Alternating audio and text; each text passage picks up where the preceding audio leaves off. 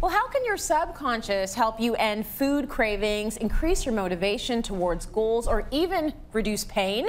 Joining me now to talk about his new book, Your Subconscious Brain Can Change Your Life, New York Times bestselling author, Dr. Mike Dow. I'm so happy you're helping us uh, kick some of the habits that we want to kick, whether yes. that be uh, you know, you and I were talking about emotional eating, mm -hmm. not with you, with me.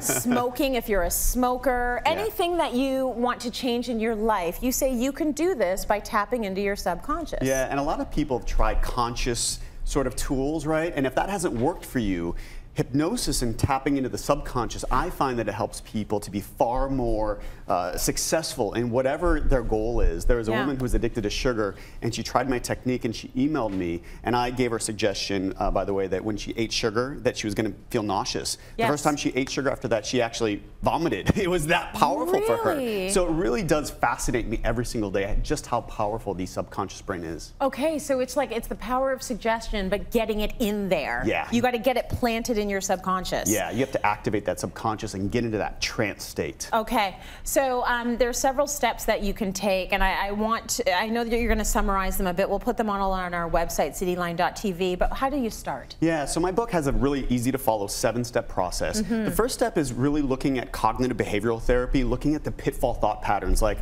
do I think in polarized black or whiteness? Am I a pessimistic thinker? Because a lot of those things set us up for emotional eating, they set us up for uh, addictions like smoking, yeah. And then I activate the subconscious brain with a little bit of trance, and you sort of go down an elevator and all those familiar things you may have seen in movies. Yeah. And then I help people to really restructure. So if it's somebody suffering from PTSD, I'm going to go into their past and we're going to paint over that because hypnosis can access the parts of the brain uh, mm -hmm. where trauma is stored. Or if it's something that uh, is in your future, like becoming a non smoker or not craving all of those sweets when you're feeling hungry or angry or bored, yeah. I can really give you those suggestions. And a lot of people, once they have those suggestions while they're in trance, they say that it feels like the changes happen all by themselves. Really? Wouldn't that be nice? Yeah. Where it's like, oh, I just started exercising every day, and I, it feels like it's so easy now. That's what it feels like when you get that suggestion under hypnosis. Okay, so you've got the cognitive uh, exercises happening. You're revisiting the past. You are enhancing the present.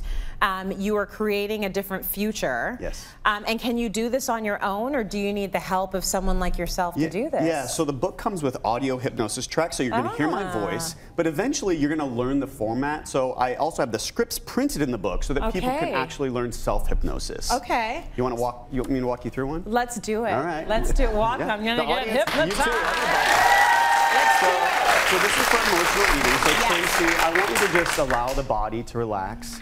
And you can notice right here and right now already that mm -hmm. your mind, your body already knows how to relax. Mm -hmm. And now center yourself by simply noticing two sounds that you hear and now notice one color that's straight out in front of you on the back of the eyelids. And now Tracy, on the next inhale, I want you to roll the eyeballs up, up, up. Hold the breath, hold, hold, hold. And now exhale allow the eyelids to stay closed, allow the eyeballs to float down. And imagine that you're going down an elevator with 12 floors, 12, 11, 10, deeply, deeply relaxed. 9, 8, 7, deeply, deeply calm.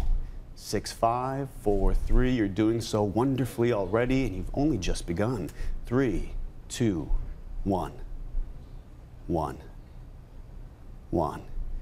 And now, using the paintbrush of your mind's eye, keeping the eyes closed, I want you to see something beautiful, a scene from your life, a time when you felt completely happy, stress free, calm. And isn't it so nice to know that you can create that feeling for yourself? And now I'm going to give you a suggestion planted deep in the subconscious, and I can see your eyeballs fluttering, which is an indication that you're in a trance state.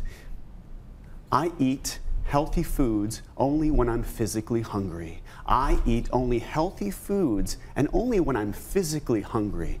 I eat healthy foods only when I'm physically hungry.